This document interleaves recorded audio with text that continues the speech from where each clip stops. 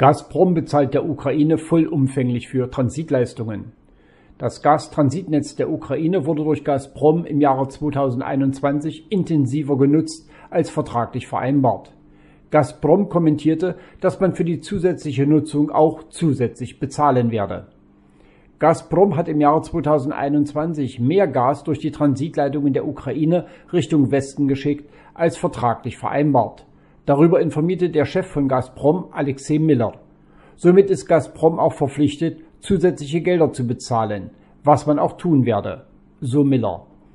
Der Vertrag sah die Lieferung von 40 Milliarden Kubikmeter Gas vor. Gegenwärtig werden täglich 109 Millionen Kubikmeter Richtung Westen geliefert, sodass man von einer Gesamtmenge von 42 Milliarden Kubikmeter Gas für das laufende Jahr ausgehen kann.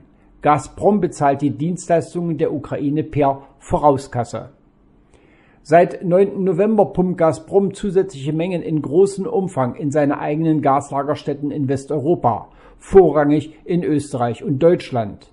Trotz dieser Lieferungen leeren sich die Gasspeicher in Europa weiter. Rein technisch ist es nicht möglich, diesen negativen Prozess aufzuhalten, da die vorhandenen Leitungssysteme nur eine begrenzte Transportkapazität haben